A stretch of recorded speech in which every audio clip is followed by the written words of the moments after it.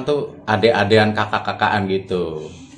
Nah, tapi pada saat itu setelah saya juga ngelihat videonya yang viral juga ya lumayan serem karena si korban ini digulung gitu. Dalam arti digulung tuh dijatuhin ke tanah. Akhirnya pihak pamannya eh, merasa tidak terima dan kebetulan saya juga sedih karena anak yatim aura ini anak yatim. Saya sampai enggak tega juga dengar berita ini gitu. Terus eh, semalam sudah interogasi.